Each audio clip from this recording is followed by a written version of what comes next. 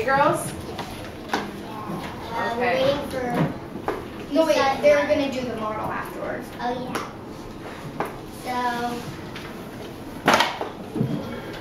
My name is Claire. And I'm Lily. And they're not here today, right now. but Issa and Lila are going to be showing our model. And we're going to be showing the poster.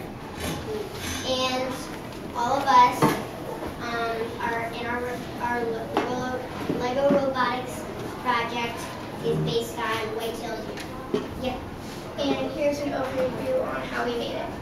First of all, we decided to go on an animal represent. We made a model of a deer and we picked that one. Next, we researched and we did a lot of research on deer and wrote them all down. Next, we made a chart on how we wanted it to look like. Next, we decided how to build it. We looked at a few and made a few models to put in our final presentation. We decided it would move from one side of our presentation to another. We programmed the deer and now it will get the honey from the honeycomb, then go straight to the bee on the other side and drop off the honey. We wanted it to be in the wilderness, so we added grass and lots of trees and plants. We also added a creek that turns into a large lake. We all worked on making the poster and all the photos. We did a lot of planning and hard work, and we think it paid off. We are all really proud of our robotics project. Now I'll tell you um, about our research, the research we had figured out. We had lots of questions about animal, habitats, and honeycomb. Here are some. Do they live in packs? What do they eat? How do they communicate? What eats them? What do they do for fun? Do they bathe? Do they get along in the same habitats? How do they live together? We found answers to our questions by reading books, going online more. Our best source of information was the internet. It helped us a lot. Now I'm going to tell you a little bit about where they live in this shelter.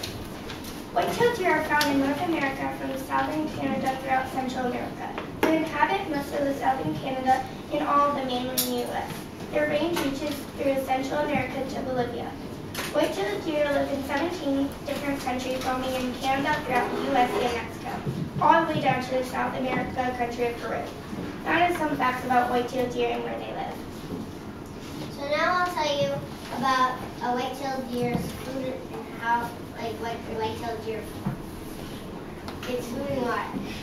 Here, here are some deer food facts. White-tailed deer feed on a variety of vegetation depending on what is available in their habitat. In eastern forests, bugs and twigs of maple, sassafras, poplar, aspen, and birch are consumed as well as many shrubs. Conifers are often eaten in winter when other plants become scarce. White-tailed deer are not picky when it comes to water sources. They will usually go through ponds, creeks, rivers, streams, dew, snow, and even mud puddles. In fact, this depressions that hold water for any period of time will be held used heavily by deer. Deer have no problem using water forms when they can get it, and they can get water in many ways. Now I'm going to tell you, we each made a fun fact for each one under our picture, and I'm going to read one about Lila and one about myself. So for Li- for mine, it, when I was younger, I tried out for America's Got Talent with the song Roar, and for Lila, her fun fact is she loves dogs, and there. Um, now I'll tell you a fun fact about. Okay, now I'll tell you a fun fact about Isa and myself. So a fact about myself is I was supposed to be born on Christmas, but I was born on New Year's, or yeah, on New Year's, or I was supposed to be born on Christmas Eve, but I was born on Christmas, or New Year's Eve. And a fact for Isa is she is funny. And then now I'm going to tell you a fact about um, Alexis's mom, Laura. She was one of our coaches.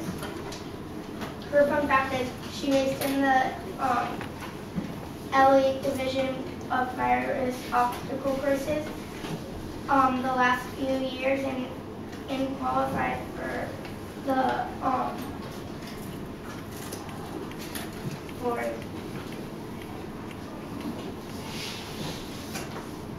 and qualified for the fortune.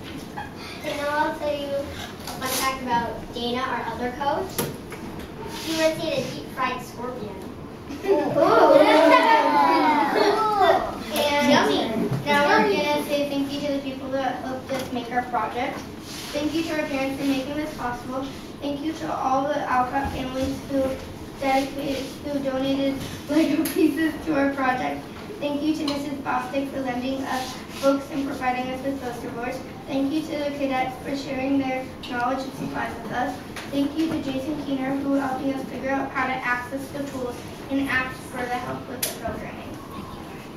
Um, now our friends Our Isa friends. and Lila are going to show you Our model. our model. So boys and girls, I'll let you come up closer in a few minutes. So don't start moving your chairs all over the place to see. You will get a chance to come up closer. Just try to see from your spots while they explain this, and then we'll come up in groups.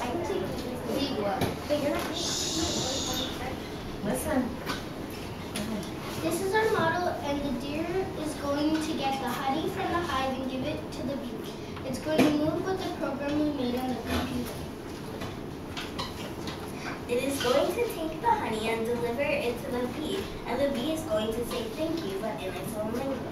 Now we will show you how this will work. Yes.